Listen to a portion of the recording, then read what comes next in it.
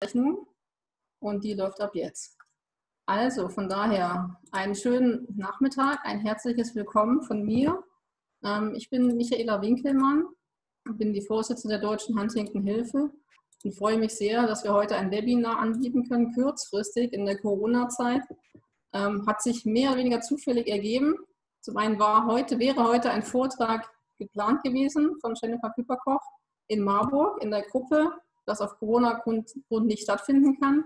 Und gerade ist das Wochenende der über 35-Jährigen, wo es auch thematisch sehr gut hineinpasst. Von daher haben wir eins und eins zusammengezählt, eigentlich erst vor ein paar Tagen und sind auf die Idee gekommen, wir machen es dennoch als Webinar und da freue ich mich sehr, dass das zustande gekommen ist und dass wir auch so viele Leute kurzfristig dazu gewinnen konnten, uns zu folgen. Das freut mich sehr.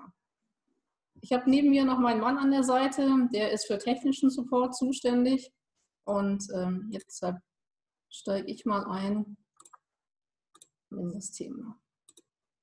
So.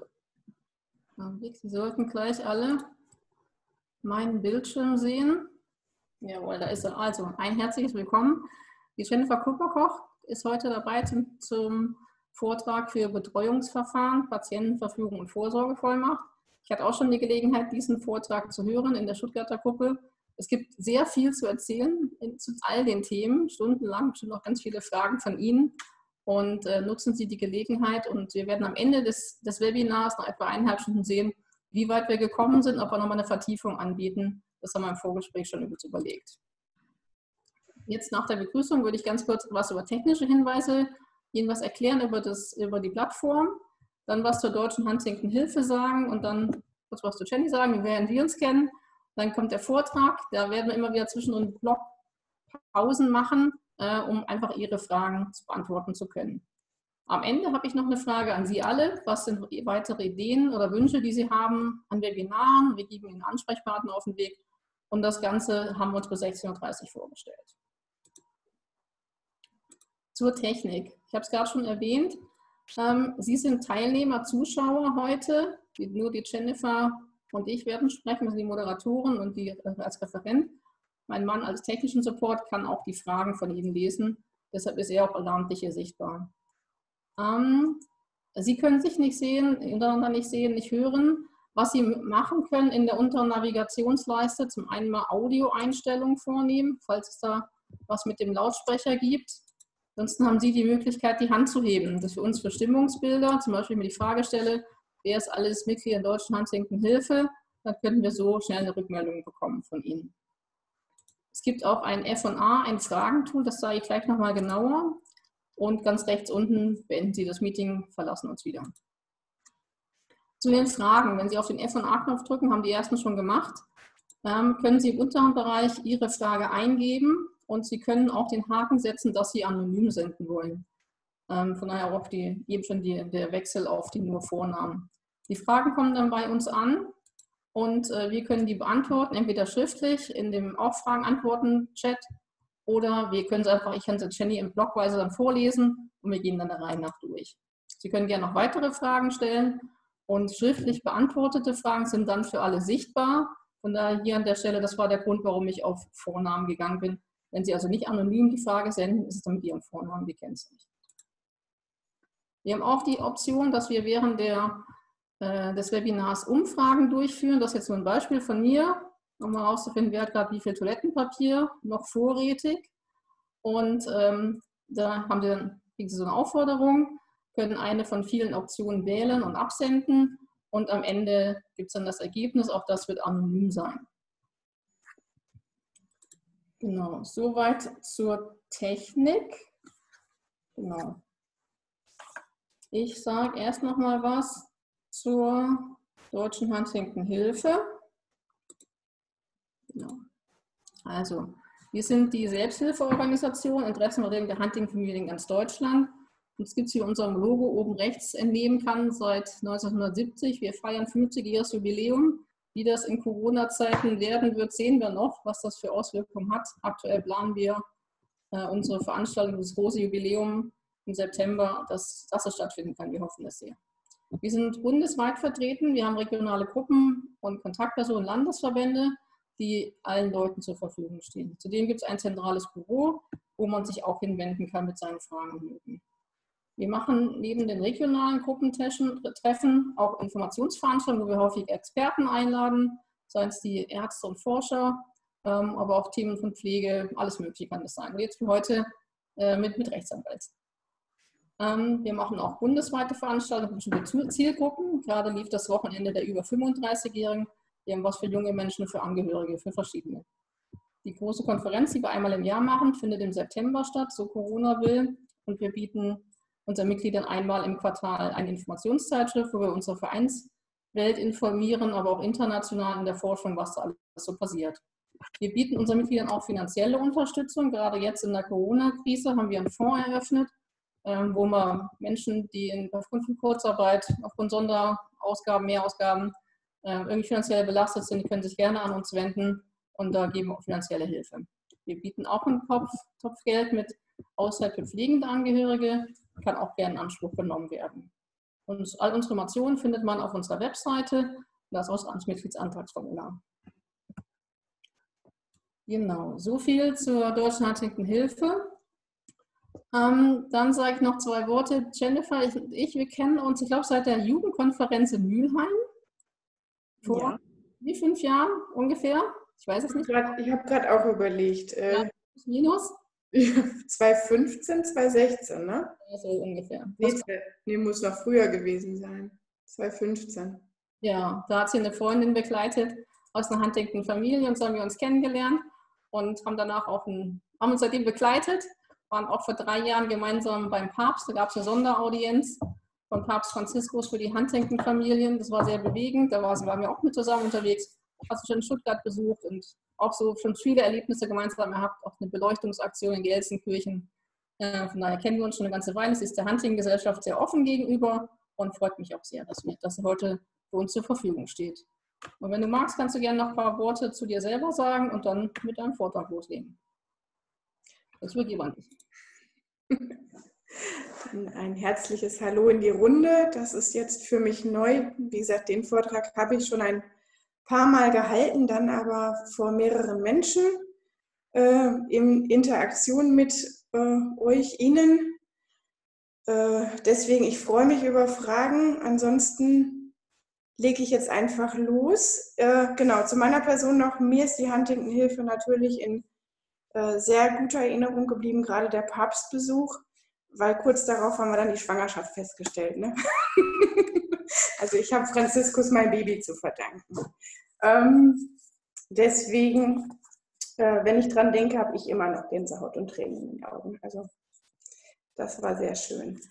Äh, ja, ich bin durch eine Freundin, wie gesagt, dazugekommen, was Huntington ist, ähm, weil die in der Familie Huntington hatten und der Bruder sich dann das Leben genommen hat und daraufhin die Diskussion auftauchte, wie gehe ich jetzt mit meinem eigenen Test um? Das habe ich begleitet und in dem Rahmen haben wir dann festgestellt, dass ich als Rechtsanwältin und gesetzliche Betreuerin dann einen ähm, Einblick in die Thematik habe auch wenn ich von der Erkrankung nicht so viel äh, wusste bis zu dem Zeitpunkt, dass ich da bei euch in äh, Mülheim war und viel gelernt habe. So, jetzt waren wir, glaube ich, dabei, dass wir nicht wussten, wie wir anfangen sollten. Da war die Frage, was interessiert denn am meisten? Vorsorgevollmacht, Betreuungsverfügung oder Patientenverfügung? Genau. Ich kann jetzt eine Umfrage starten, wie Sie jetzt alle sehen sollten. Wir haben ja drei Themenbereiche auf der Agenda heute. Patientenverfügung, Vorsorgevollmacht und Betreuung. Und würden aber gerne wissen, wo sind denn die Schwerpunkte, die Hauptfragen, die Sie heute haben, und wir so ein bisschen daran ausrichten können, an Ihren Wünschen und Bedürfnissen. Was nicht heißen soll, dass wir die anderen Themen nicht machen werden. Die wollen einfach nur mal so ein Stimmungsbild hören. Einfach auf einen der drei Punkte klicken und absenden.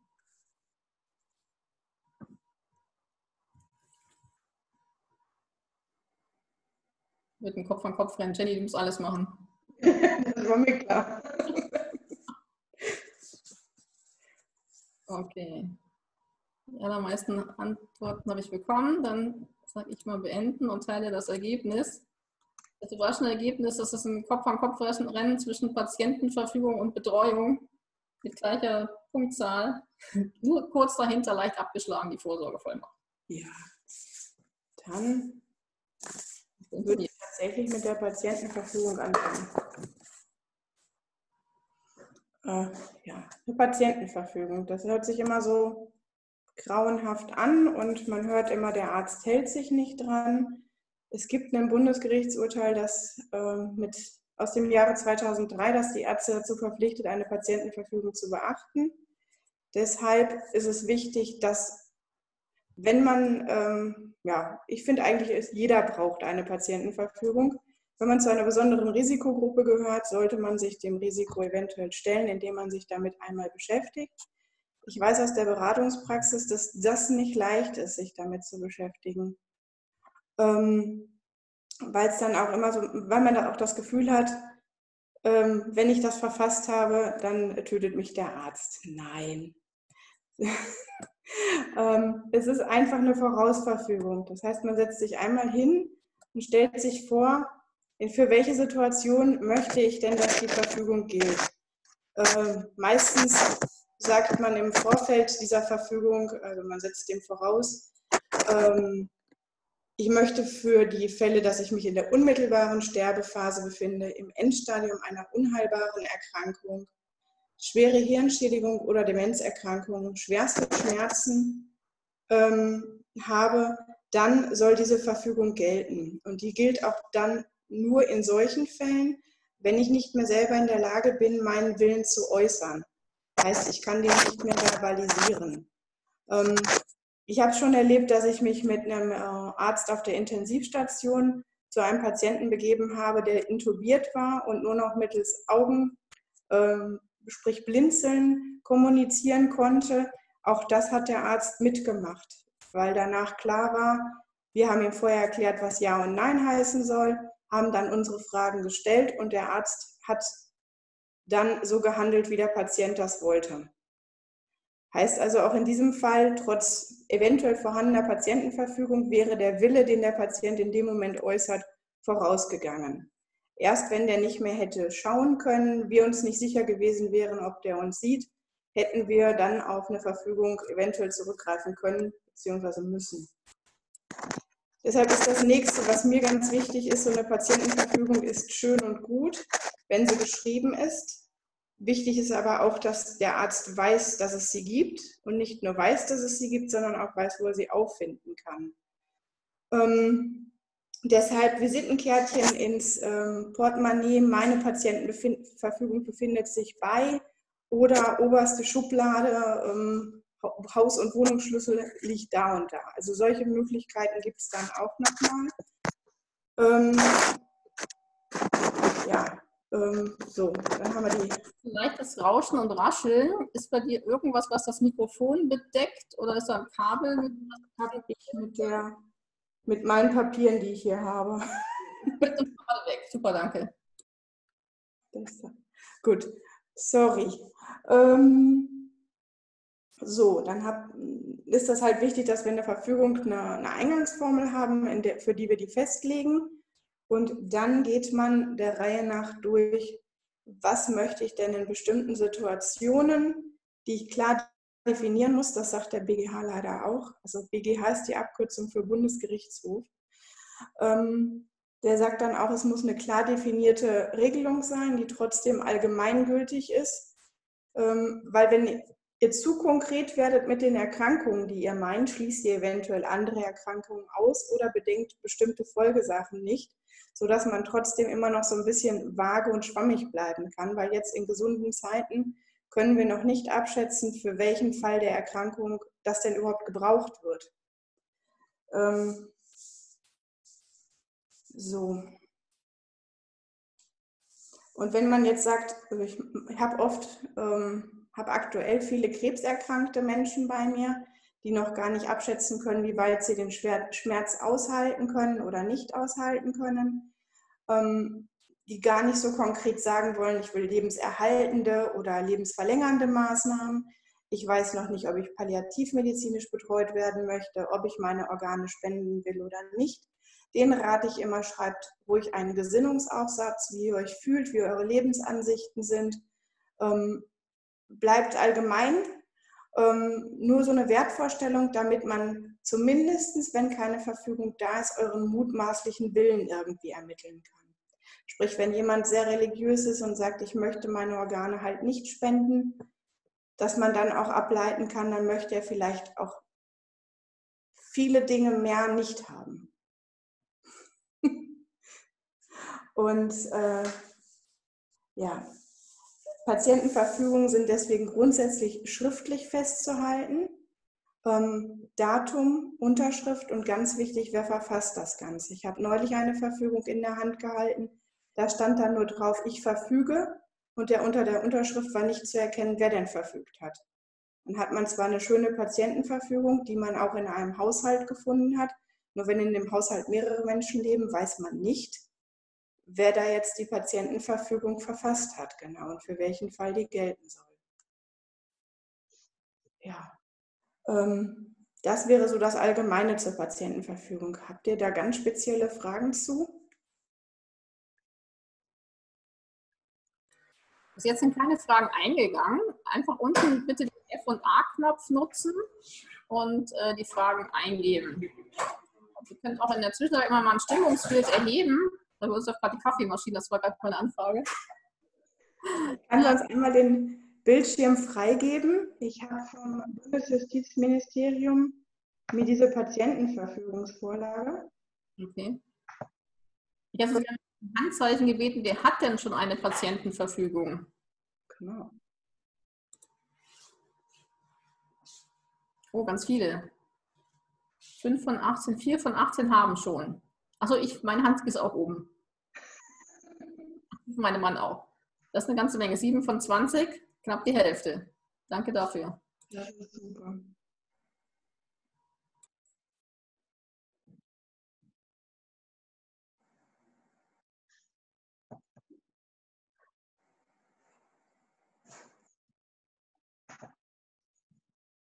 Ich kann ich meinen Bildschirm sehen oder siehst du mich?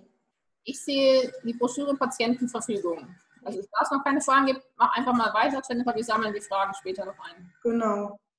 Ähm, genau. Das ist hier ähm, das Bundesministerium für Justiz und Verbraucherschutz gibt uns Textbausteine an die Hand für eine schriftliche Patientenverfügung. Wie ich gerade gesagt habe, exemplarische Situation für die, die die Verfügung, für die Situation, in der die Verfügung gelten soll.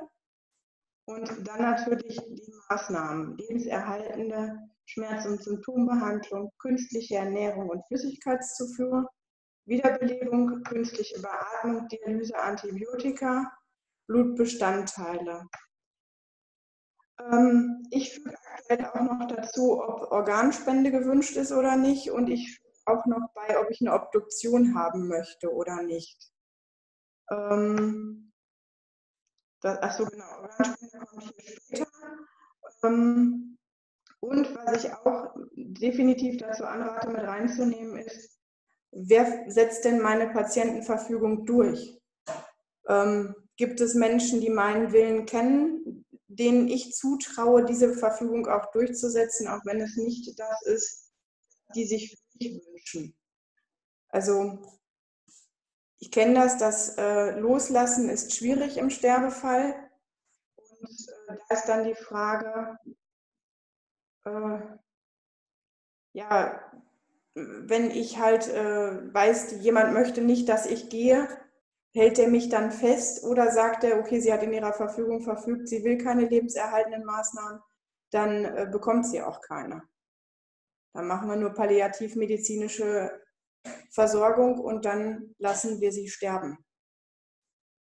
Das ist halt, wenn man da jemanden einsetzt, der trägt eine sehr große Verantwortung. Äh, so. Bin ich jetzt wieder sichtbar? Ja, ne? genau. Wenn du oben auf Stoppen drückst, müsste das weggehen. Ja, ich habe auf Anhalten. Das ist Stoppen für dich. Jetzt. Also inzwischen sind die ersten Fragen eingetroffen. Die erste von Claudia möchte wissen, wer entscheidet, wenn es keine, wenn keine Patientenverfügung existiert? Ähm, also ich kenne das dann als gesetzliche Betreuerin, werde ich vom Arzt angerufen, der fragt mich, gibt es eine Patientenverfügung? Dem sage ich dann, nein, habe ich leider nicht. Ähm, dann sagt der Arzt wiederum, gut, was wäre denn der mutmaßliche Wille gewesen?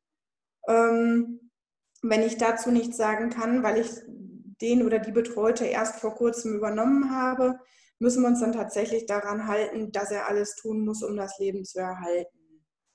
Ähm, sprich, wer entscheidet, ist da derjenige, entweder den ich in meiner, äh, ja, wenn ich denn zumindest eine Vorsorgevollmacht habe, kann ich da die Gesundheitsfürsorge ja mit übertragen. Wenn ich gar nichts geregelt habe, äh, muss der Arzt tatsächlich äh, danach handeln, dass niemand da ist. Der versucht, Angehörige zu kontaktieren um zumindest einen mutmaßlichen Willen festzustellen. Wenn der keine Angehörigen hat, die er erreichen kann, muss er sich leider daran halten, was ihm äh, ja, der Gesetzgeber bzw. der Hippokratische Eid sagt. Okay, danke. Ähm, dann geht es noch mal eine Frage, jetzt ist es der, der Huntington-Kreis heute, ähm, noch spezifische Hinweise zur Patientenführung bei der Huntington-Erkrankung. Das ist hm. eine Frage von Silke. Genau, also ich hab, weiß, dass die Huntington-Zentren, ähm, dass der soziale Dienst der einzelnen Huntington-Zentren sich mit Huntington-Patienten bzw. mit Genträgern äh, gerne zusammensetzt, um eine speziell auf Huntington ähm, ausgerichtete Patientenverfügung zu erstellen. Äh, wer sich gerne an mich wenden möchte, dass man die einmal gemeinsam durchgeht, kann das auch gerne tun. Kontaktdaten gibt es dann gerne am Schluss der Sendung. Aber ich weiß, dass die Huntington-Zentren sehr, äh, ja, sehr darauf bedacht sind, dass ihr alle eine auf eure Erkrankung zugeschnittene Patientenverfügung durch sie erhaltet. Mhm. Da gibt es einen anderen Teilaspekt von der Frage von Silke, wie aus dem Thema Aktualisierung der Patientenverfügung. Hast du dazu etwas zu sagen? Ähm, also wenn ich die Patientenverfügung jetzt einmal abfasse, dann ist die aktuell ich habe äh, in meinem Vordruck immer noch mal so fünf bis acht Zeilen reingefügt, je nachdem, wo man sagen kann, entspricht immer noch meinem Willen und man setzt ein aktuelles Datum ein.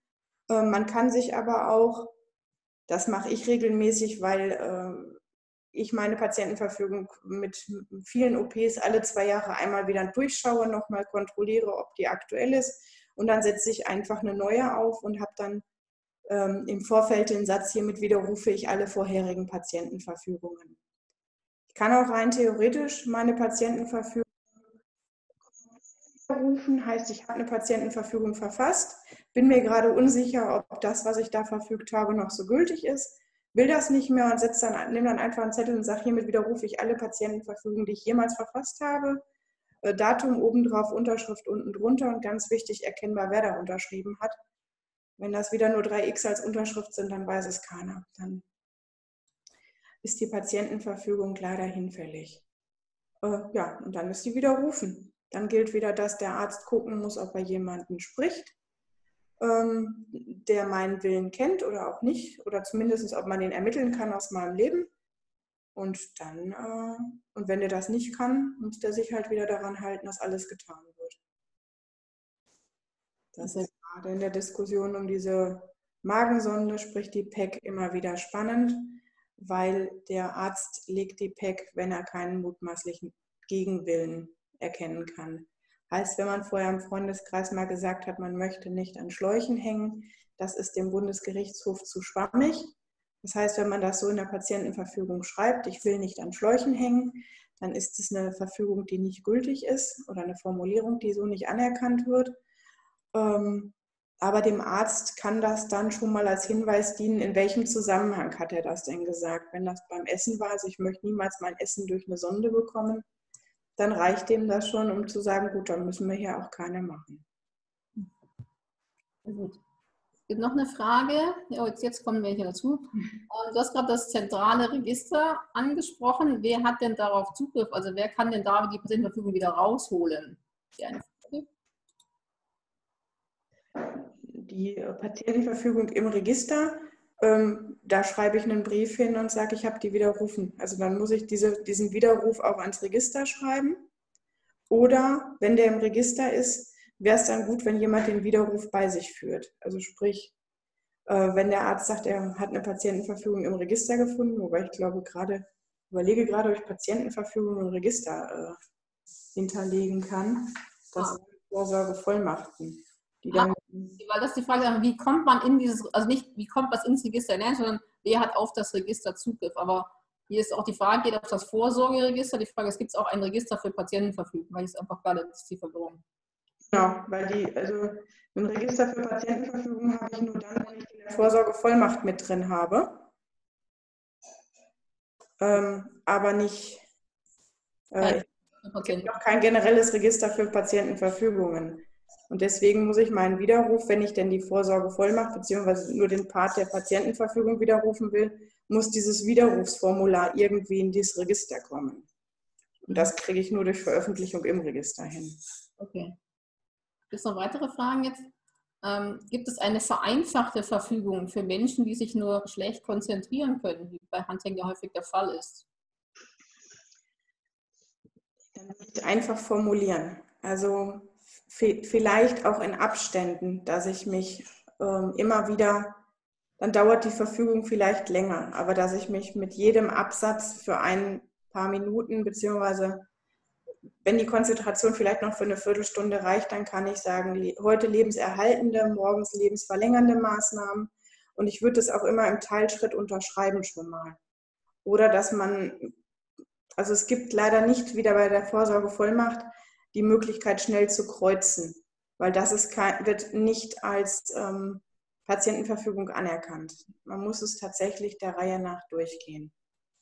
Äh, was ich in der Besprechung machen kann oder wahrscheinlich auch jeder andere in der Besprechung machen kann, ich kann innerhalb von einer Viertelstunde ein grobes Gerüst zusammenstricken, indem ich halt frage, äh, wie die generelle Stimmungslage ist. Eher pro oder contra. Heißt aber, man setzt sich nicht mit jedem Punkt dezidiert und einzeln auseinander, wie ich es mir wünschen würde. Also, aber so kriegt man dann, wenn jemand sagt, nee, ich will nicht und ich will sterben, dann kann ich ganz schnell eine Patientenverfügung in diesem Sinne zusammenstricken. Und wenn jemand sagt, nee, also der Arzt soll so wenig wie möglich eingreifen, äh, ich will leben, dann kann man das auch ganz schnell äh, zusammenbasteln. Äh, was dann halt schwierig ist, wenn jemand sagt, ja, ich möchte aber palliativmedizinisch in so manchen Bereich doch noch betreut werden. Das kann ich ja auch in die äh, Verfügung mit aufnehmen oder ich möchte bestimmte Schmerzmittel bekommen und andere wieder nicht. Ähm, dann muss man sagen, gut, dann müssen wir jetzt doch die 20 Punkte der Reihe nach durchgehen. Okay, dann eine Sekunde. ja. Nein ja Seminar. okay. Ich habe heute nicht bedacht, dass äh, der Putzmann da ist. Der möchte jetzt saugen, das geht gerade nicht. Genau. Ich habe auch eine Ergänzung zum Thema mit schlecht konzentrieren, auch mit Handdenken, spezifische Dinge für Patientenverfügung. Ich kann gerne im Nachgang den Link verschicken. Wir haben auf der Internetseite der Deutschen Handdenkenhilfe ein Informationsblatt für Patientenverfügung und wir haben auch Textbausteine für Hunting, die man verwenden kann.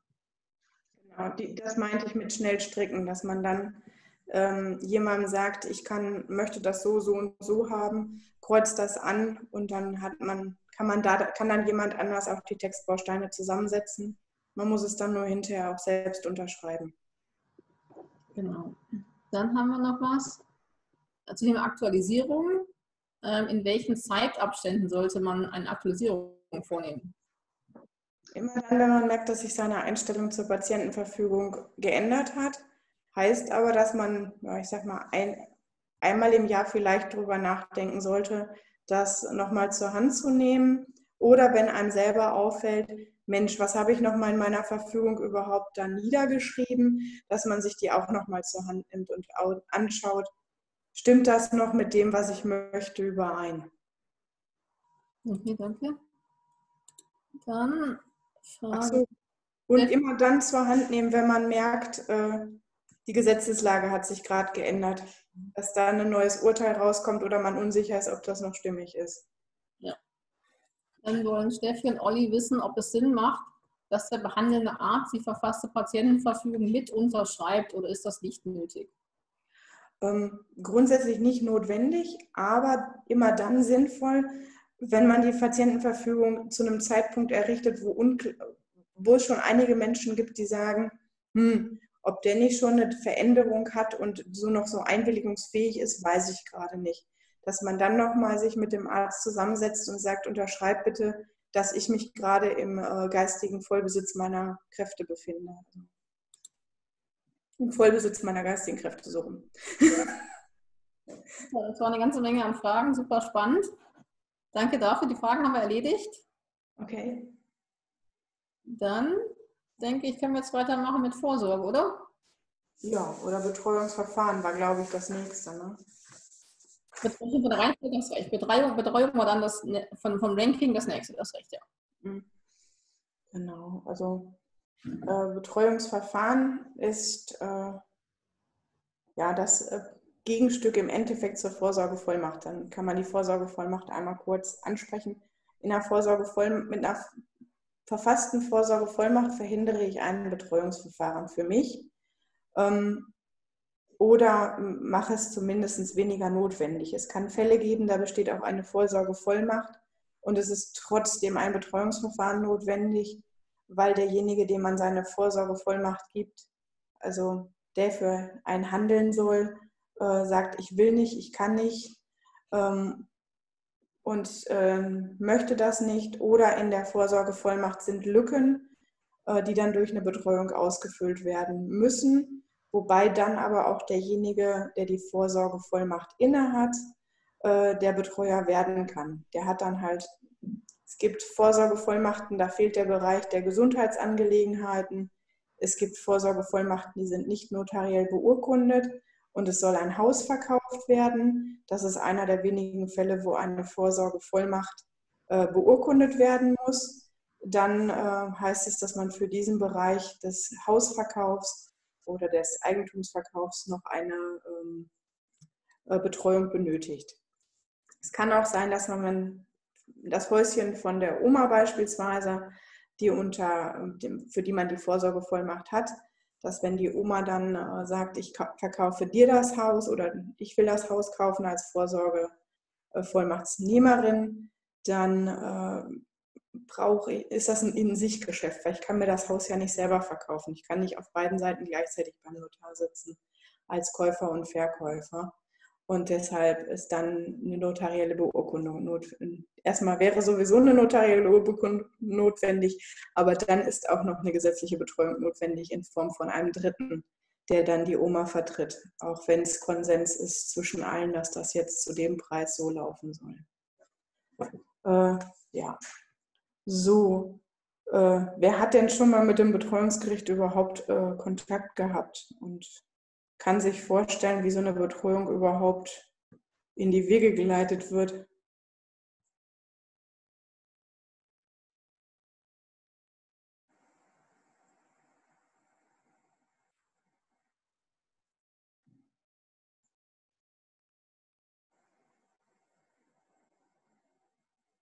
Ich höre dich nicht, Michaela. Sorry, ich war stumm. Okay. es waren zwei von 19 hinten. Okay. Äh, dazu. Jetzt, jetzt kommt was aber. Ja. Das ist dann natürlich äh, gut. Ähm, jeder von uns kann für jeden von uns eine Betreuung anregen, indem er beim Amtsgericht des Wohnortes anruft und sagt, derjenige braucht eine Betreuung. Das heißt aber nicht, dass man automatisch eine Betreuung bekommt, sondern dann hat der Richter jetzt erstmal Kenntnis davon, dass eventuell Hilfe vonnöten ist und wird dann die Betreuungsbehörde, es kann der allgemeine soziale Dienst einer Stadt sein, es kann dann auch eine bestimmte eingerechnete Betreuungsstelle der Stadt sein, ähm, die wird dann beauftragt, einmal nach dem Rechten zu sehen. Die lädt einen dann entweder persönlich äh, zum Gespräch in die Behörde oder kommt nach Vorankündigung in den Haushalt. Ähm, ja, dabei wird dann erörtert, ob das notwendig ist oder nicht. Ähm, Wenn es notwendig ist, geben die ihren Bericht ans Gericht weiter und es wird ein Verfahrenspfleger bestellt oder sollte zumindest im Idealfall bestellt sein, Ein Verfahrenspfleger kann ein Anwalt sein, kann aber auch ein gesetzlicher Betreuer sein, ähm, der schon tätig ist, der sich dann nochmal ähm, mit demjenigen oder derjenigen, für die die Betreuung angeregt ist, zusammensetzen sollte. Und das ist der Interessenvertreter. Also ganz wichtig, wenn der Verfahrenspfleger oder die Verfahrenspflegerin kommt, sprechen, ob überhaupt eine Betreuung gewünscht ist und wenn Betreuung gewünscht ist, äh, in welchen Bereichen denn. Das spricht man meistens auch schon mit der Betreuungsbehörde ab. Äh, aber hier kann man es dann auch nochmal eingrenzen und vielleicht auch sagen, ich möchte einen Mann, ich möchte eine Frau, ich möchte jemanden, der jung ist, ich möchte jemanden, der alt ist. Ähm, ich mag äh, keine Menschen mit Kindern und ähnliches.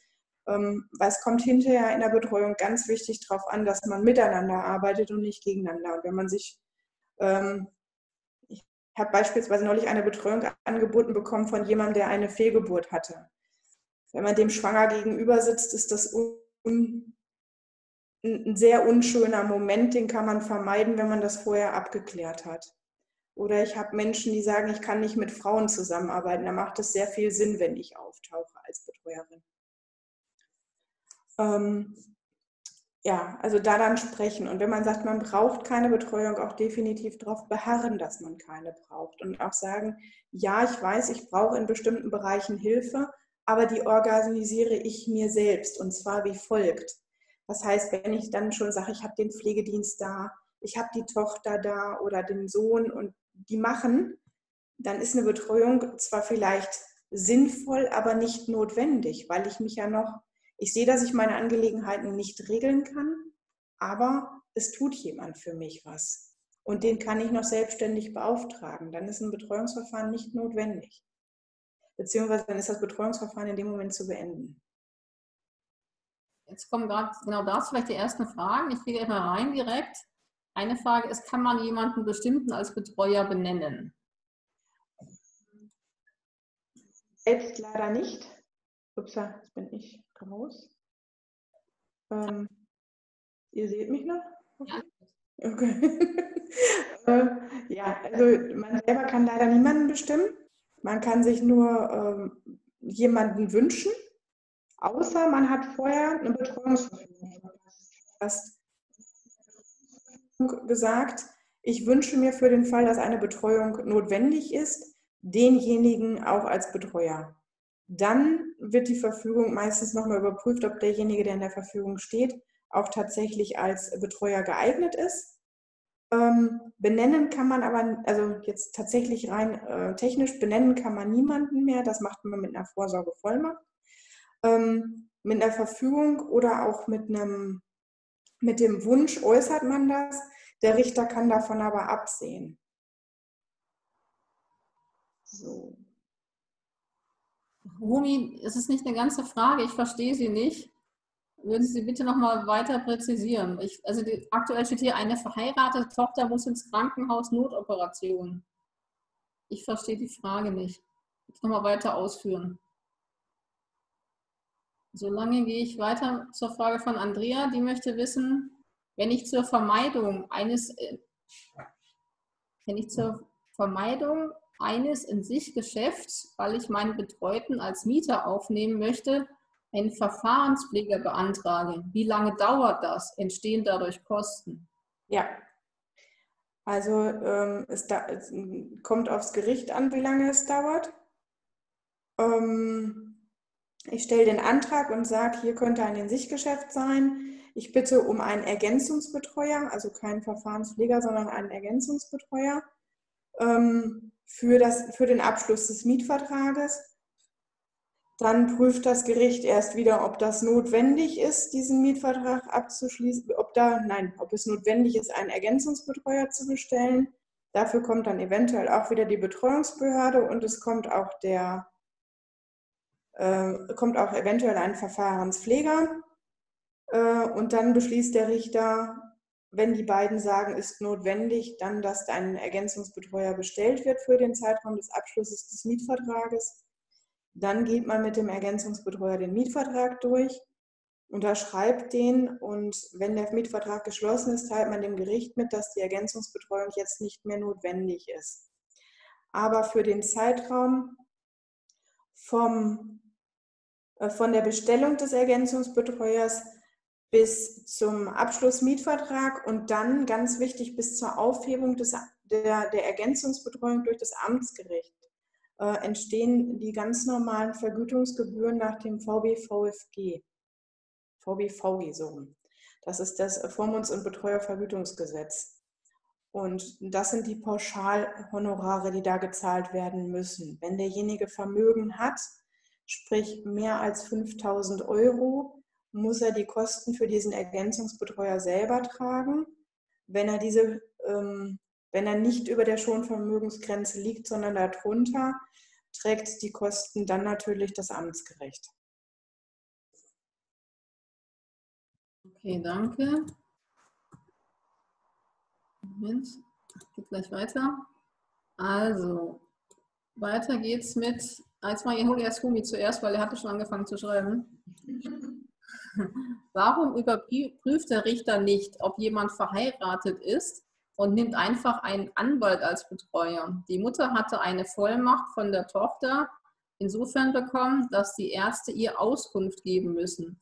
Auch die Mutter wurde nicht informiert, dass die Tochter in die Psychiatrie eingeliefert wurde. Wenn jetzt der Betreuer nicht kooperativ ist, was kann die Familie machen?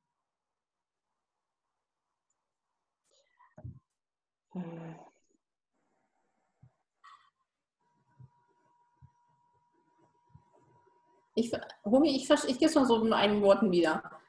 Ich verstehe es so, ähm, es gibt eine Tochter und äh, die Mutter hat zwar, die hat zwar Auskunfts, was auch immer Recht, aber es gibt dennoch für die Tochter einen Betreuer. Genau. Also das ist Zusammenspiel mit einem Betreuer und der Familie. Ich glaube, da ist irgendwie nicht ganz konform das Miteinander. Okay, also man hat meistens das Problem, ähm, nur weil man verheiratet ist, nicht automatisch dem Ehemann bzw. der Ehefrau die Betreuung für sich selber auch übertragen. Das kann man regeln mit einer Vorsorgevollmacht, was immer zu empfehlen ist. Ähm, wenn also, der Richter muss also nicht überprüfen, ob jemand verheiratet ist. Wenn es also, wie hier glaube ich vorher, war das eine Notoperation, die ähm, Tochter kann sich nicht mehr äußern. Der Richter weiß, es ist eine zwingende Entscheidung notwendig. Es kann dann nicht mehr so eine dringende OP gewesen sein, wenn ich ganz ehrlich bin, weil dann braucht der Arzt keine Unterschrift mehr, dann führt er die Operation ohne jegliche Unterschrift durch, wenn die notwendig ist. Heißt, hier war etwas äh, zu veranlassen, für das man jemanden brauchte, der da seine Unterschrift für gibt. Ähm, und daraufhin hat der Richter dann niemanden gefunden, der ad hoc im Krankenhaus war und hat per einstweiliger Anordnung ohne Überprüfung äh, sofort einen Betreuer bestellt. Äh, das war dann hier wahrscheinlich ein Anwalt, wenn ich das jetzt richtig verstanden habe. So, und dann ist wieder das Problem mit, wer hatte Kenntnis von Vollmacht?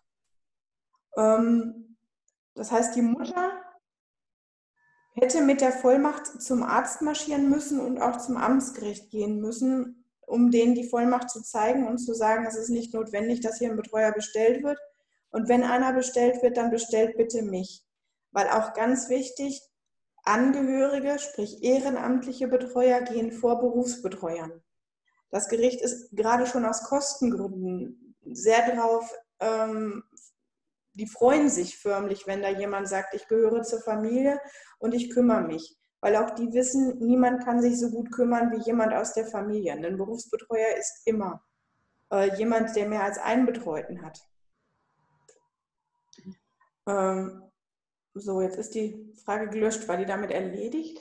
Ich habe sie gerade auf erledigt. ah, Irritierte mich gerade, weil ich sie als Grundlage noch brauchte. Also, es ging um die Operation. Die Patientin ist im Krankenhaus okay. renitent geworden jetzt. Ja. Äh, ja. Also ich hoffe, ich habe dem äh, Herrn die Frage beantworten können. Das war ganz unten, ist jetzt noch ein Nachtrag. Es ging um ein, nicht um die Operation, die Patientin ist im Krankenhaus renitent geworden. Also sprich, es mussten freiheitsentziehende oder äh, unterbringungsähnliche Maßnahmen ergriffen werden. Die darf das äh, Krankenhaus nicht von sich aus machen. Da braucht sie jemanden, der den Antrag stellt. Und das geht meistens nur über einen gesetzlichen Betreuer. In den meisten Vorsorgevollmachten vergisst man nämlich diesen Passus, ähm, dass man sagt, wenn ich tatsächlich eine freiheitsentziehende Maßnahme brauche, dann darf auch mein Vorsorgevollmachtnehmer äh, darüber entscheiden. Sprich, wenn es nur, wenn diese Patienten, die Vollmacht, die hier erstellt worden ist, nur darum ging, dass äh, die Mutter Auskünfte von den Ärzten erhalten hat, dann betraf die nicht den Fall, dass sie auch in freiheitsentziehende Maßnahmen einwilligen durfte und dann war ein Betreuer zu bestellen. Warum das dann nicht die Mutter geworden ist, liegt dann wahrscheinlich daran, dass da niemand Kenntnis von hatte oder niemand damit gerechnet hat, dass die Mutter bei solchen Maßnahmen den entsprechenden Antrag für die Tochter stellt. Das ist manchmal auch im Familiengeflecht nicht ganz so sinnvoll, ähm, solche Entscheidungen oder solche Anträge zu stellen. Okay. Dann haben wir noch weitere Fragen reinbekommen.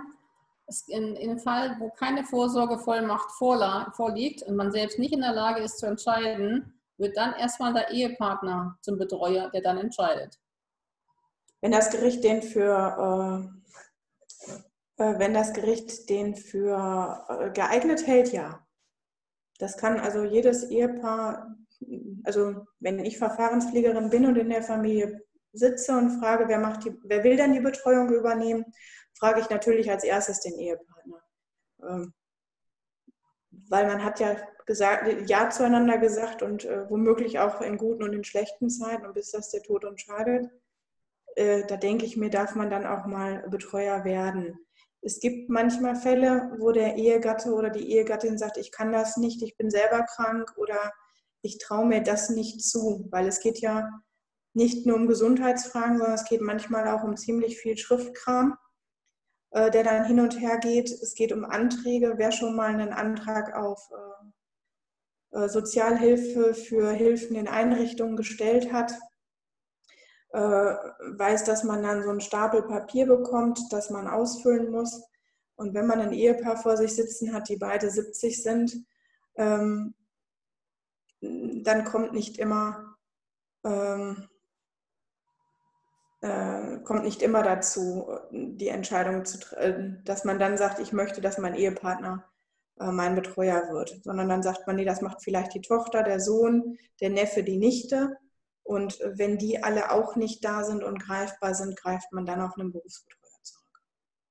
Da kommt gerade noch eine Ergänzung genau zu der Frage. Das heißt, wenn man es versäumt, eine Vorsorgevollmacht auszufüllen, kann man als Ehepartner trotzdem einspringen und Entscheidungen treffen. Ja, man kann nicht selber mehr einspringen. Das ist der Unterschied zwischen der Vorsorgevollmacht. In der Vorsorgevollmacht bestimme ich, dass jemand anders für mich tätig werden darf. Ähm, wenn ich die Vorsorgevollmacht dann nicht gegeben habe, dann bestimmt das Gericht, ob der Ehepartner Entscheidungen treffen darf oder nicht.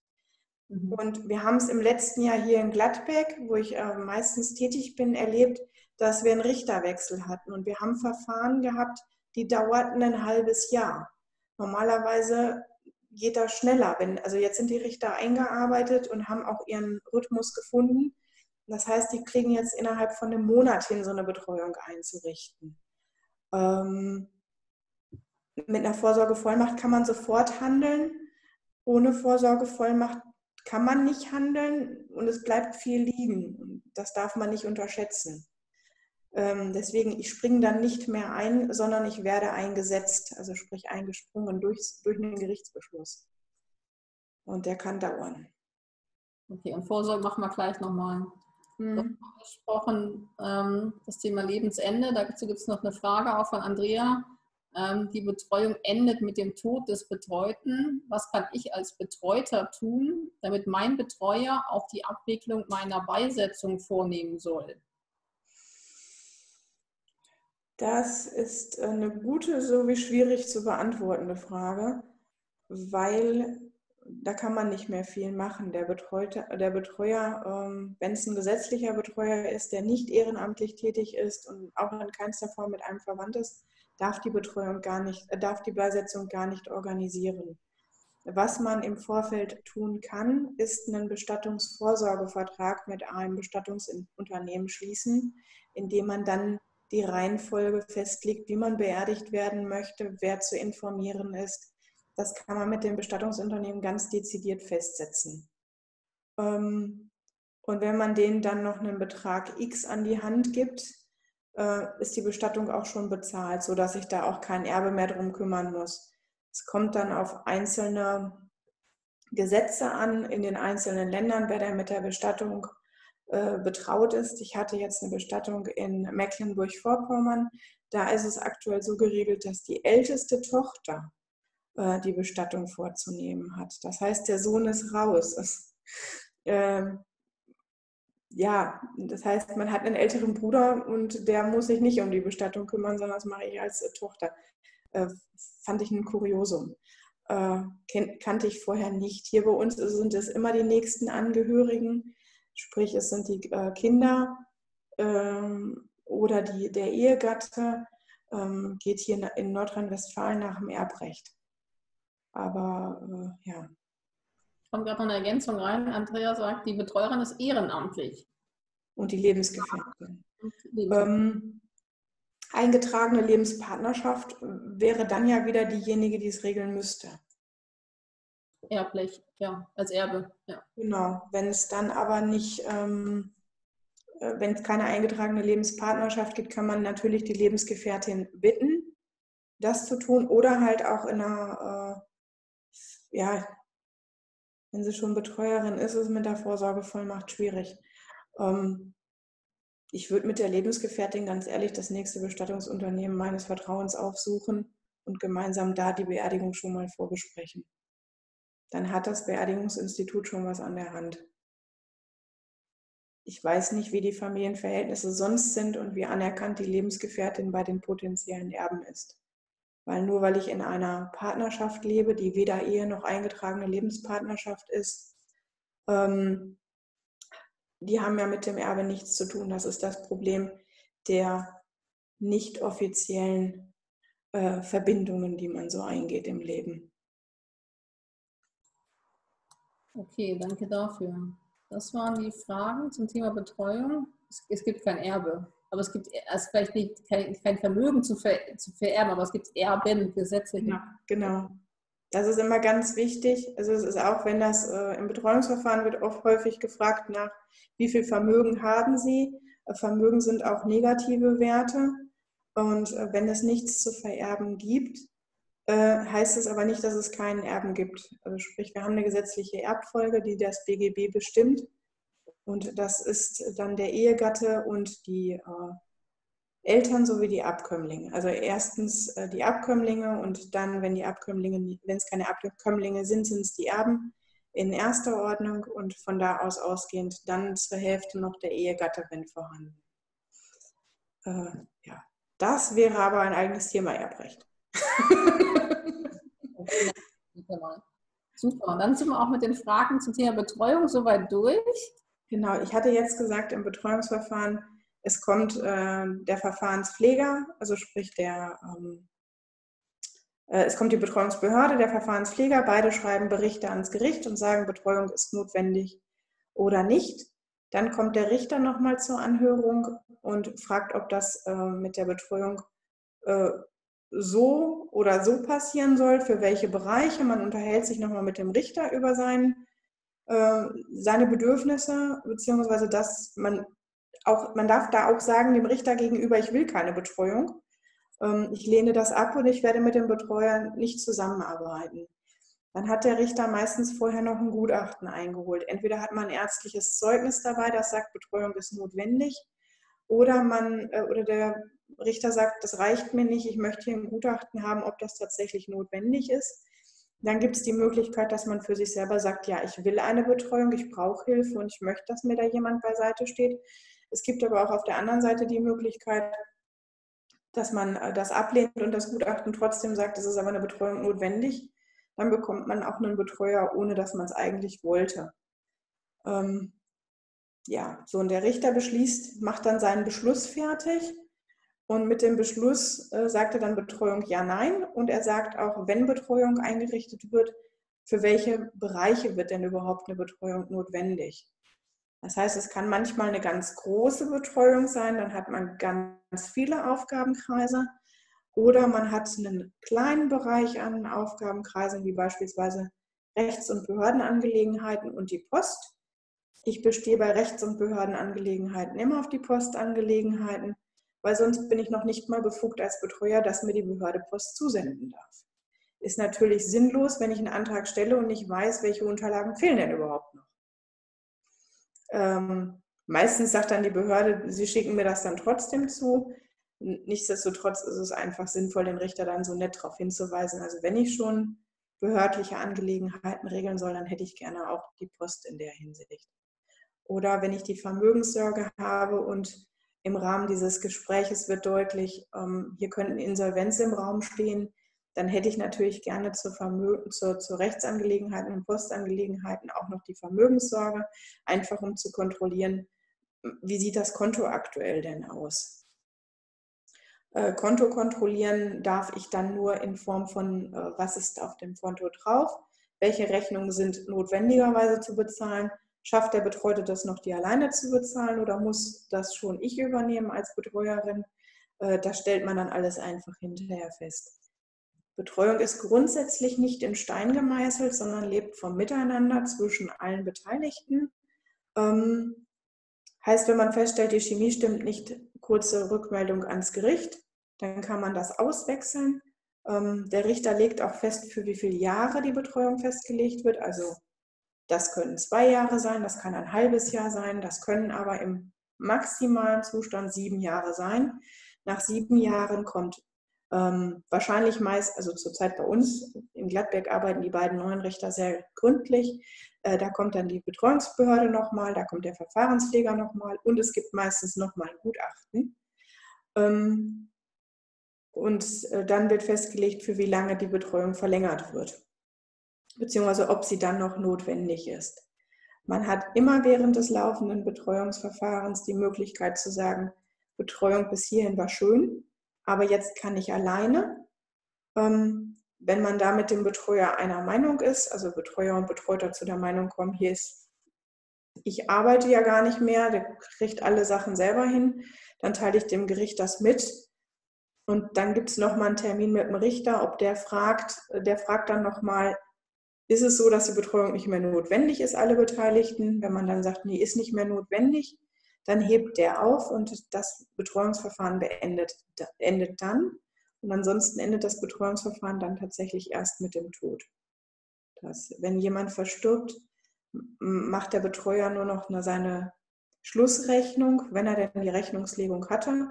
Ansonsten gibt es noch einen äh, Schlussbericht, den er dann äh, verfassen muss, dem Gericht noch die potenziellen Erben benennt und dann endet das Betreuungsverfahren.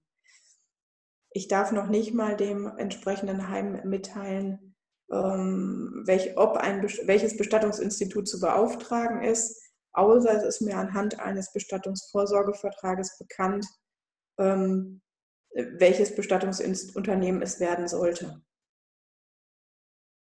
Das ist, äh, ja. Ja, dann ist äh, Betreuung im Betreuungsverfahren noch wichtig zu wissen, dass man, äh, dass Angehörige nicht automatisch Kenntnis von einem Betreuungsverfahren erlangen. Das heißt, wenn ich mitbekomme, dass für mein, einen meiner Angehörigen ein Betreuungsverfahren anhängig ist, selbstständig melden, beim Gericht oder bei der Betreuungsbehörde. Die haben nicht automatisch Kenntnis von jedem. Äh, das ist manchmal schwierig, gerade wenn man Demenzpatienten hat, die solche Briefe gern verlegen. Wenn man die findet, ruhig die Telefonnummer wählen und sagen, äh, ich bin Tochter, Sohn, Nichte, Neffe, ähm, ich weiß, wird Hilfe benötigt, ich wäre bereit dazu. Äh, und jeder gesetzliche Betreuer freut sich, wenn Angehörige die Gesundheitsfürsorge übernehmen. Also ich mache gern geteilte Betreuung, dass ich hier für den Schriftverkehr zuständig bin. Ich stelle die Anträge und die Gesundheitsfürsorge übernimmt ein Angehöriger. Äh, der dann sagt, äh, ich gehe mit zum Arzt, ich ähm, begleite die Termine, ich weiß dann, worum es geht, ich stelle die Medikamente oder ich passe auf, dass die Medikamente da sind. Ähm, da ist kein gesetzlicher Betreuer äh, böse drum, wenn das funktioniert. Ähm, manchmal gibt es Probleme im Geflecht angehörige Betreuer, da muss man dann vorsichtig sein und differenzieren. Wer hat jetzt ein Problem, warum, wieso, weshalb, mit wem? Äh, geht es um den Betreuten oder geht es um persönliche Zwistigkeiten zwischen Betreuer und Angehörigen? Äh, und wenn ich merke, dass ich dann gar nicht mehr weiterkomme, gehöre ich zu den Betreuern, die dann aufgeben. Ich weiß, dass da Kollegen anders arbeiten, die die ähm, Kommunikation mit den Angehörigen dann einstellen. Finde ich schlecht, schade und fatal, weil so nah wie ein Angehöriger komme ich nicht an meine Betreuten dran.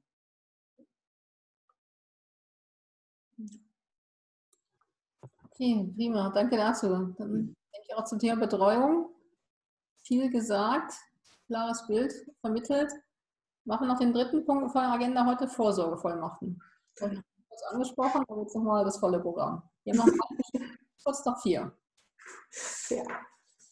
Äh, so, wir hat, ich habe gerade schon mal erwähnt, es gibt eine Betreuungsverfügung. Das heißt, ähm, ich möchte keine Vorsorgevollmacht verfassen ich sage einfach dem Gericht, ich möchte, dass der und der Betreuer wird, dann überprüft das Gericht im Rahmen des Betreuungsverfahrens, ob der, der oder diejenige, die ich in der Verfügung einsetze, sich als Betreuer eignet.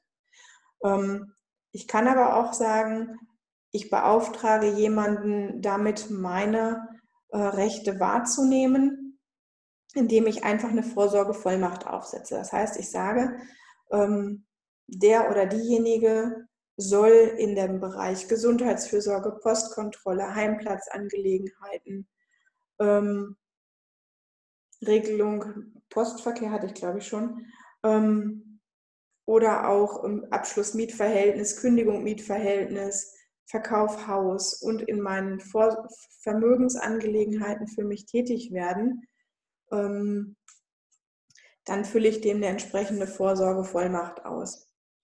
Ich hatte eine Sekunde.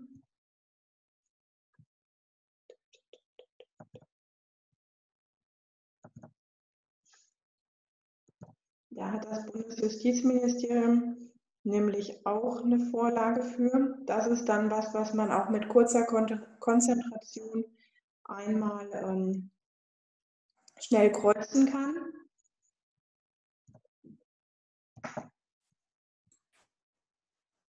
Willst du etwas teilen? Ach doch, da kommt was. Mhm.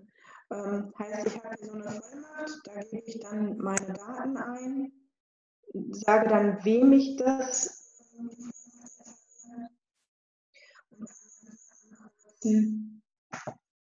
wer, was ich in den einzelnen Bereichen möchte. Ich kann aber auch ein Nein ankreuzen.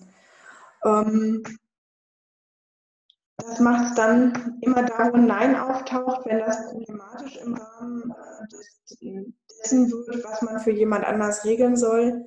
Ähm, beispielsweise, sie darf meinen Aufenthalt bestimmen und ich kreuze dann Nein an und es wird ein Heimplatz erforderlich ähm, oder einen Krankenhausaufenthalt, dann macht das ein Betreuer notwendig. Der Betreuer kann dann natürlich derjenige sein, der die Vollmacht nimmt. Ähm, Weswegen eine Betreuung gern vermeidet, ist das Offenlegen der eigenen finanziellen Verhältnisse, weil der gesetzliche Betreuer einfach im Rahmen der Vermögenssorge Rechnung legen muss und ganz genau sagen muss, wofür die Gelder verwendet worden sind. Äh, sprich, dann hat das Gericht plötzlich Zugriff auf Konten, beziehungsweise kann über ähm, Kontoauszüge, äh, kann Kontoauszüge führen ähm,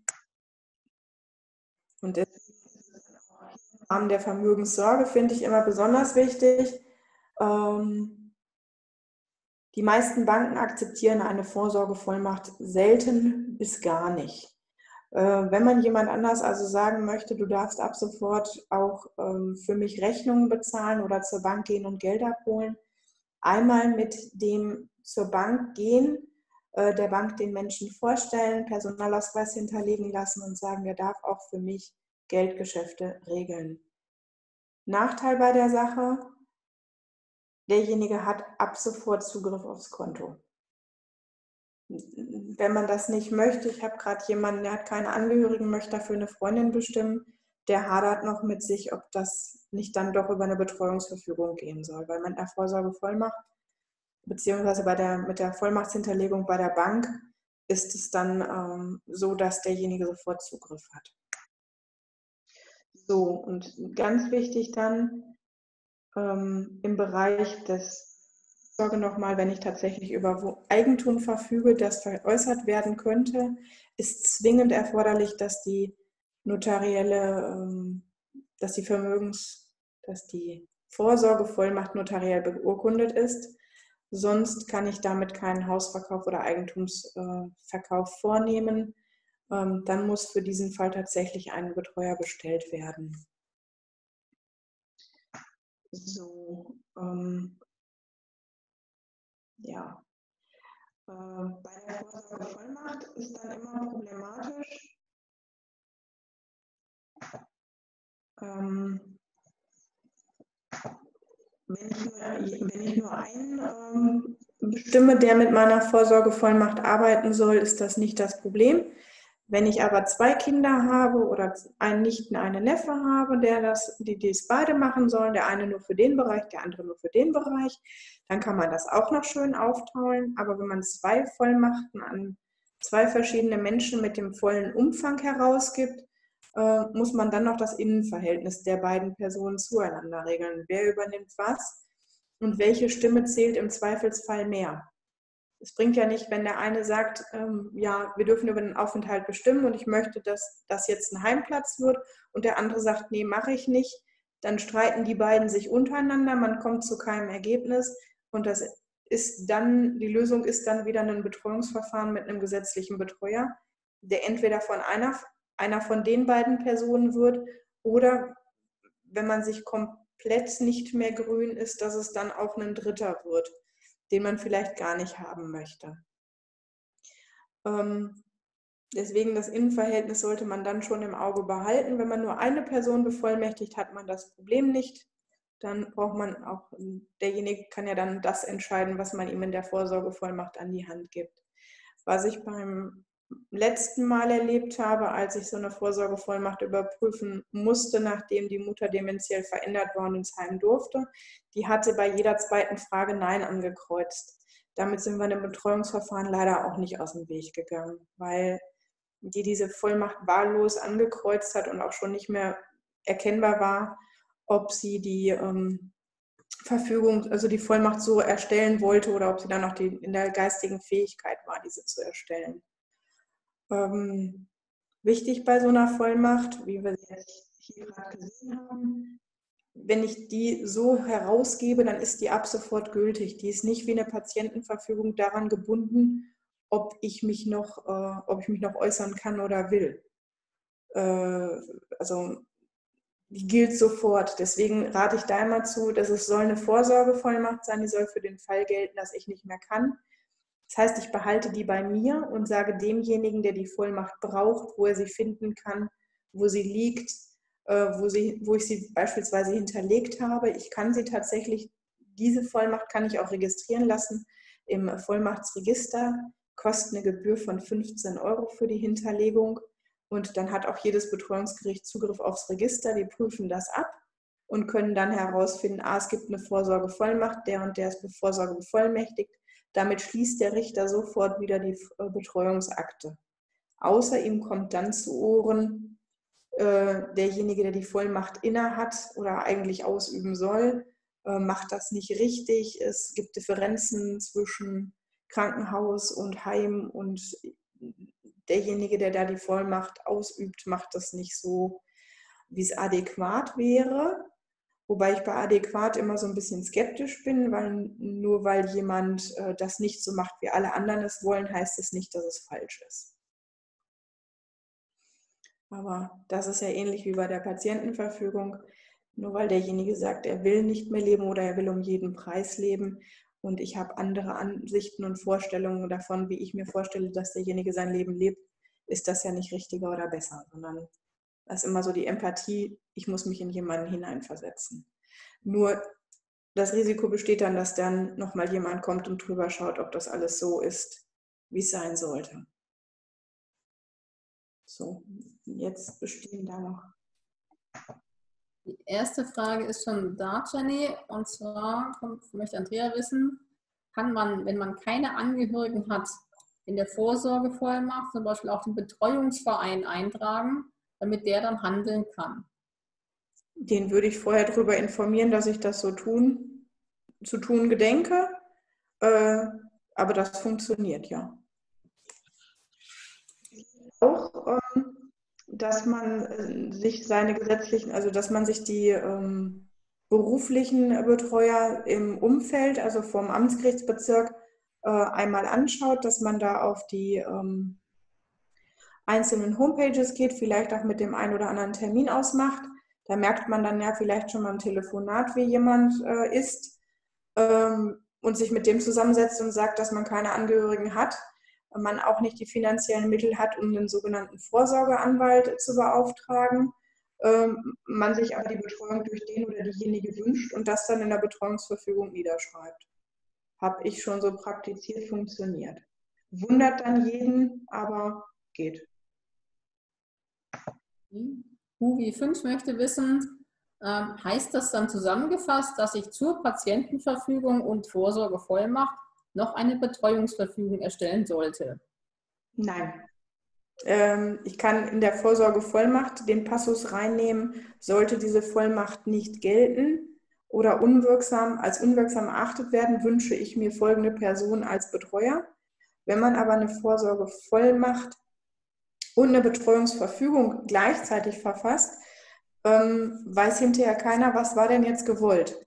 Einen, äh, jemand, der nur eine Vorsorgevollmacht hat, oder sollte tatsächlich ein Betreuungsverfahren äh, laufen. Deswegen, damit schneidet man sich womöglich alles ab und man landet dann da, wo man gar nicht hin wollte. Ich würde das, wenn Vorsorgevollmacht besteht, in die Vollmacht integrieren, für den Fall, dass es nicht gilt. Und ansonsten würde ich das nicht extra verfassen. Dann kommt eine Frage von Thorsten rein, der fragt, bei der Vorsorgevollmacht seines Vaters fehlte der Ausschluss eines Paragraphen und das machte dann gerade bei der Sparkasse nach dem Tod des Vaters Schwierigkeiten. Gibt es das noch und wo muss man darauf achten? Also das ist hier in der, ähm, das ist die Geltung über den Tod hinaus wahrscheinlich, dass die ähm, Verfügungen darf, dürfen mit der Vorsorgevollmacht getroffen werden, aber nicht äh, nach dem Tod. Und entweder kreuzt man dann an, die Vollmacht soll auch über den Tod hinaus gelten. Ähm, meistens kann man das aber schon direkt bei der Bank hinterlegen, dass man dann auch als Erbe regeln darf. Okay, sehr gut, danke. Weiter geht's mit einer Frage. Kann man ohne Vorsorgevollmacht verhindern, dass ein ungeliebter Onkel sich in Gesundheit oder Vermögen, Immobilien einer Erkrankten einmischt? Ehepartner und Kinder der Betroffenen haben keine Vollmacht, wollen aber eine negative Einmischung des Onkels verhindern. Ähm, ich habe das schon mal als negative Betreuungsverfügung verfasst, einen solchen Fall. Ich habe dann ähm, für denjenigen, der da betroffen ist, aufgesetzt, ähm, ich weiß, dass mein Ehepartner und meine Kinder nicht ähm, im Rahmen einer Vorsorgevollmacht für mich tätig werden wollen. Die würde ich mir dann aber vielleicht als Betreuer wünschen. Aber auf gar keinen Fall möchte ich, dass folgender Mensch für mich in irgendeiner Form tätig werden soll. Und dann würde ich Name, Adresse, Anschrift und würde auch sagen, es bestehen äh, Differenzen zwischen mir und der Person. Ich habe seit so und so vielen Jahren keinen Kontakt und ich möchte gerade nicht, dass diese Person mein Betreuer wird. Weil anders kann der sich ja nicht einmischen. Es geht ja nur als Betreuer oder als Mitinhaber, aber dann muss man sich sowieso mit ihm auseinandersetzen. Okay, prima, danke. Das waren die Fragen aus der Runde. Ich habe selber noch eine Frage. Und zwar, äh, mein Mann und ich haben uns Anfang des Jahres auch mit so einem Notfallordner auseinandergesetzt, haben einen erstellt, wo wir dann all diese Unterlagen nach und nach erarbeitet haben. Also wir sind jetzt bestens gewappnet. Ähm, bei uns ist bei der Vorsorgevollmacht, also wir hatten als Begleitung eine sehr gute Broschüre von der Stiftung Warentest, die uns da durchgeführt hat. Ja. Und da gab es einen Passus, du erwähntest das Thema Verkauf Immobilien. Und wir haben keine notariell bestätigte Vorsorgevollmacht, sondern wir sind auch ins Landratsamt gegangen und haben von der wirklichen Betreuungsbehörde es abstempeln lassen, äh, weil wir so gelernt haben, dass dann auch der Immobilienverkauf möglich ist. Ist ja. das äh, was bundeslandspezifisches? Ich glaube tatsächlich, dass es landspezifisch ist. Bei uns wird immer darauf bestanden, dass das von einem Notar gemacht werden muss.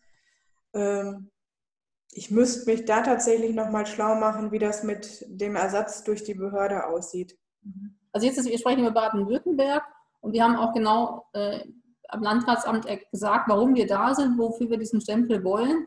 Und das wurde da so bestätigt, dass es korrekt ist. Ja gut, dann würde ich das jetzt auch so hinnehmen. Ja, ja okay. Ja. Ansonsten solange ihr nicht untereinander gegenseitig verkaufen wollt, im Rahmen dieser Vorsorgevollmacht, also für den Fall der Fälle, dass jetzt was passiert äh, und ihr äh, einer von euch beiden verkauft an einen Dritten äh, mit, wäre dann tatsächlich ja doch, wäre immer ein Ergänzungsbetreuer zu bestellen dann für den. Okay. Ja. Okay. Es geht einfach um die Reihe um die Frage mit dem, mit dem Notar oder nicht Notar erstmal. Die muss ich jetzt sondern wahrscheinlich denen äh, gesetzlichen Betreuer aufs Auge drücken. Okay. Gut. Das war jetzt auch die Frage zum Thema Vorsorge. Es gibt keine weiteren Fragen in der Runde. Das sieht auch zeitlich alles super aus. Es ist 20 nach 4.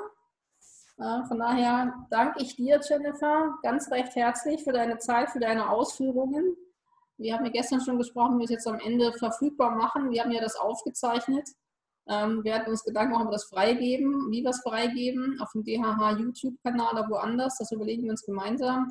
Noch, ob wir die Fragen nochmal zusammenstellen können, ähm, dass alle das nochmal in Ruhe nachlesen können, vielleicht eine Linksammlung ergänzen, ähm, die, die sich über die Webinar DHH e.V. E-Mail-Adresse angemeldet haben. Oder die 35 Teilnehmer, die haben ja die Kontaktdaten. Da können wir sowas gerne im Nachgang noch zur Verfügung stellen. Gerne. Das war die Frage eben mit, wie kann man dich kontaktieren? Da hast du jetzt deine Visitenkarte gescannt. Ja, ich passe die mal bitte auf.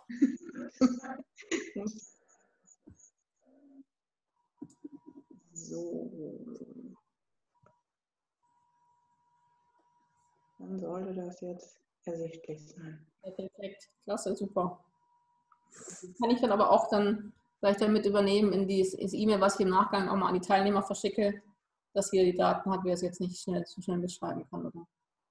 Genau, also meine Mitarbeiterin weiß Bescheid, dass wenn jemand mit dem Wort Huntington anruft, dass sie sich dann nur notiert, wer da angerufen hat und ich äh, mich zeitnah zurückmelde. Die Homepage ist nicht mehr aktuell, der Nachname hat sich geändert, äh, wir arbeiten dran. Ich habe es gemerkt, weil ich wollte vorher nachgucken, äh, damit ich für die Vorstellungsrunde weiß, Rechtsanwältin für welche Fachrichtung du bist. Und ich habe es auch gesehen, die Seite ist gerade under construction. Ja. Genau, wir äh, versuchen das zu regeln. Ich habe in Corona-Zeiten leider zu tun. Äh, ich hätte mir die Zeit gerne anders vorgestellt. Super. Also ich fand es sehr lehrreich heute. Vielen, vielen Dank, Jennifer. Ähm, wir werden dir als Dankeschön noch ein schwäbisches Paket, Lunchpaket zur Verfügung stellen und dir auf den Weg, auf den Weg geben, dass ihr nicht verhungert da oben. Oh Gott, ja, das äh, passiert hier. Also ich stehe jetzt nicht auf, damit du nicht siehst. Äh. Hab die Botschaft gehört. Okay, dann ähm, möchte ich gerne noch zum Abschluss, ich mache das hier mal zu. Ähm, eine, oh, da kommt noch eine Frage rein. Ach, super gemacht, das ist ja nett. Vielen Dank, freut uns sehr. Danke für die Rückmeldung. Ähm, ich hatte ebenfalls schon mal einen Vorschlag gemacht, Thema Erbrecht. Könnte man auch nochmal als Umfrage, als ein weiteres Webinar anbieten. Finde ich super. Ich finde das Format toll.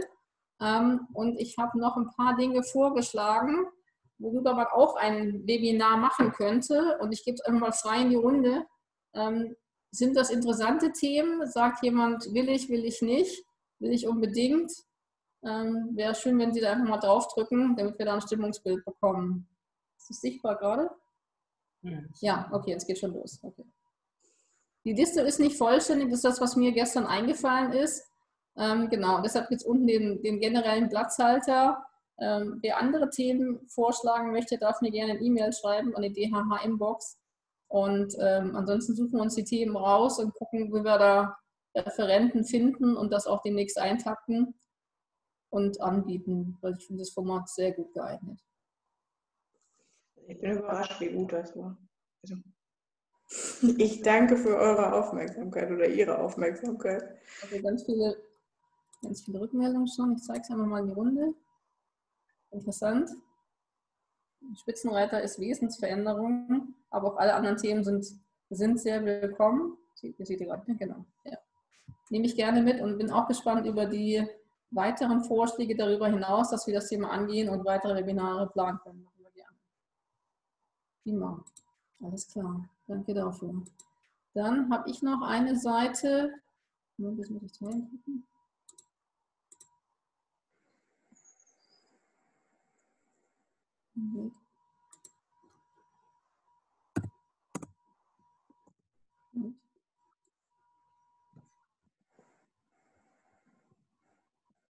Mhm. schon, Fragen hat man schon so. Also, ich möchte gerne darauf hinweisen, ähm, in der deutschen Huntington Hilfe ähm, haben wir auch jede Menge Ansprechpartner, äh, nicht für juristische Themen, da haben wir die Experten, ähm, aber wir haben eine Beratungsstelle in Duisburg, die ist Montag bis Freitag erreichbar, da können Sie jedwede Frage stellen, wir suchen Ihnen einen Ansprechpartner.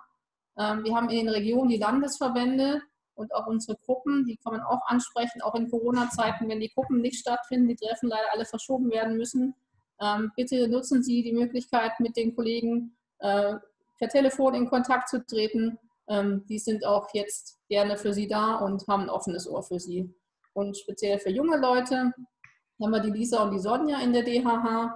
Ähm, die für Jung geht bei uns bis 35, aber auch mit 36 darf man gerne noch anrufen, ähm, die da den, den, den Jungen und Junggebliebenen zur Seite stehen. Das wollte ich noch sagen. Und äh, jetzt kommen noch Fragen rein. Okay, es kommen viele, viele Dankeschön rein. Dankeschön hat uns auch gefreut. Ähm, gerne wieder. Und äh, noch vor der Zeit fertig. Super. Also dicke, dicke Dankeschön, Jennifer. Ja, danke an euch. Gerne wieder. Also. Ja. Wir sagen Tschüss. Bis bald. Tschüss. Tschüss.